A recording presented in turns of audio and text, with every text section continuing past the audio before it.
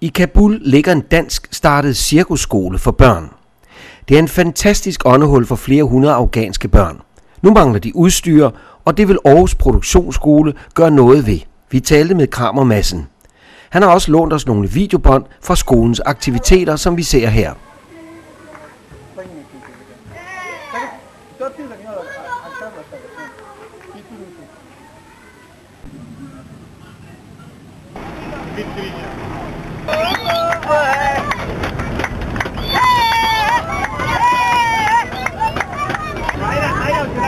और मैं करो बेटा पूरा परिचित करने में क्या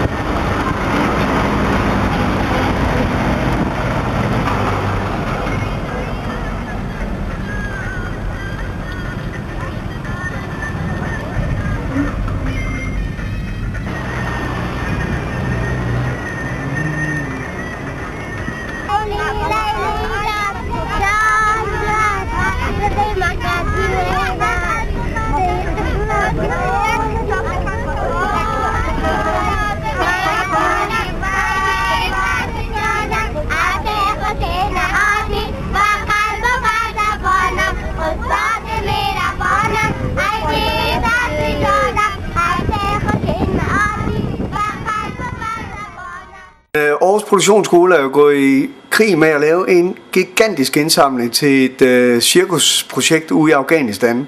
Øh, jeg mødte øh, Berit, som øh, er en del af hovedmændene bag i projektet ude i Afghanistan. Øh, sidste år, hvor hun sagde, at øh, de var simpelthen drukne i deres egen succes, fordi at, øh, det, jamen, skolen var simpelthen blevet så stor, og der var så stor tilsøgning til det. Det eneste problem, de havde, det var, at de stort set manglede alt. Altså, det var fra et cykler til tegnegrejer til, jamen, nævn det i flæng. Og i, i et øjeblik, så tænkte jeg, at det der, det klarer Aarhus Produktionsskole. Vi går bare i krig med at indsamle det her. Øh, vi laver simpelthen 14 dage, hvor vi sætter skolen på den anden ende. Øh, hvor vi sætter vores elever i, øh, i sving med at se lidt ud over deres egen næsetip. Og gør en forskel for nogle børn ude i Afghanistan.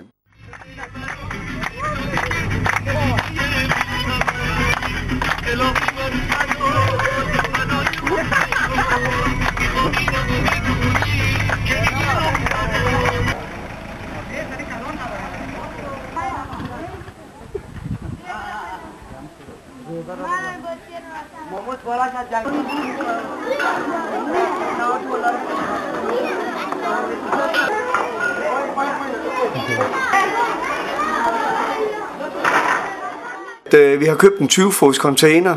Øh, Den er stor. Der kan være meget i. Øh, Vi, øh, vi har ringet rundt til erhvervslivet i Aarhus, øh, fra teater til, jamen, til hvad som helst, og fået doneret en masse ting ind i den her teknisk grej, som selvfølgelig hver mand ikke har. Der hvor hver mand kan komme ind, der hvor børnene kan gøre noget. Konceptet her, det er barn til barn. Det er, at man står med sin ethjulet cykel, sin løbehjul, sit øh, uh, rullehopring, ting, som man tænker, det er simpelthen for, for godt til at smide på Eskelund, til at smide ud. Det kunne komme i den blå avis, jeg får det egentlig aldrig solgt, jeg giver det videre. Så kan man øh, tage sit løbehjul, sin ethjul cykel, sin rullehopring, det som har en god værdi for en, og sige, det har jeg lyst til at give til et andet barn i Afghanistan. Øh, det skal selvfølgelig være funktionelt. Så kan man møde op nede i Tivoli Friheden på torsdag den 8. kl. 13. Øh, gå op til billetlugen og sige, Dags, jeg vil gerne ind. Øh, jeg har et løbehjul, jeg har en hulehopring, jeg har en god ting her til øh, containeren til barn til barn, som jeg rigtig gerne vil donere. Øh, så gør barnet det en kæmpe forskel.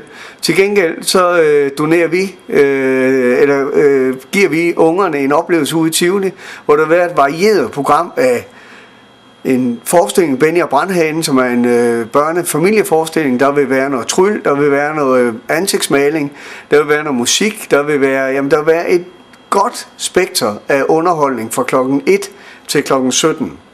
Klokken 17 laver vi en eller anden ceremoni, hvor vi får lukket den her container ned, øh, og så siger vi, vi siger tusind tak, og så sender vi en varm tanke til de børn ude i Afghanistan, som vi så lukker vores øjne, og ser et billede af, at når de åbner den her container, så ryger deres kæber simpelthen ned i den afghanske muld, i dyb begejstring over, at der er nogle andre børn i en anden verdensdel, som har offret det, som er småt for dem, men som er stort for de børn ude i Afghanistan. Og de tager tingene ud af containeren, og lige pludselig får det et nyt liv og et nyt virke. Bismillahirrahmanirrahim.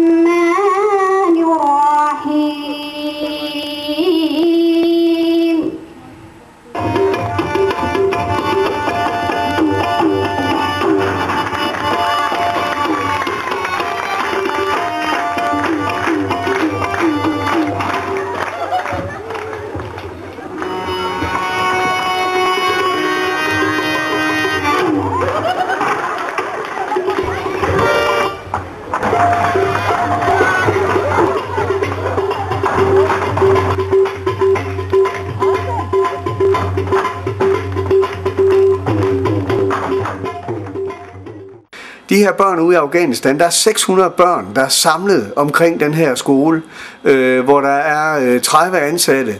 Og det er jo under forhold, som, jamen, som ikke er til at forestille sig. Det er jo, der er en ringmur om, om deres, øh, øh, de tre skoler, de har. De har en i, i, i hovedstaden Kabul og to ude i oplandet. Sikkerhed er selvfølgelig en kæmpe, kæmpe øh, ting derude. Fordi det er selvfølgelig, øh, Taliban er jo der, hvor de er. Øh, men, men de har stor anerkendelse i lokalmiljøet, øh, det her mobile circus for children. Øh, forældrene de står simpelthen i kø for at få lov at få deres børn ind på den her skole. Øh, det, det, der er vigtigt for, for, for, for dem, det er selvfølgelig et, det er at, at få givet de her børn nogle, færd, nogle, nogle kunstneriske færdigheder. Samtidig med, så går de jo i skole og får noget, noget skolekendskab. Øh, og det er både piger og drenge. Og så kan man sige, at øh, det er jo et, et, et samfund, som er i den grad øh, muslimsk. Så pigerne, de må nogle ting, altså piger må for eksempel ikke køre på et cykel. Øh, til gengæld så er de massivt stærkt i alt, hvad det her jonglering og sådan noget. Og så laver de nogle helt specifikke forestillinger, hvor det kun er pigeforestillinger. Og, og, øh, og hvor der er nogen, hvor det kun er drengeforestillinger, så de får lov at køre på begge dele.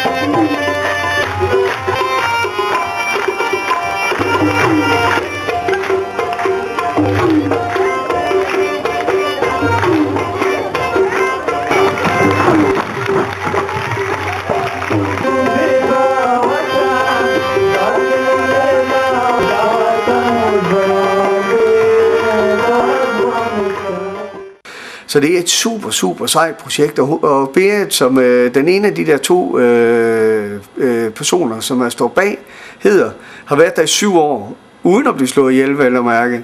Øh, så, så det kan sagtens lade sig gøre, så derfor synes jeg bare, at det er super vigtigt at støtte det. Og en af de måder, man kan støtte det her på, er selvfølgelig at møde op ude i Tivoli Friheden.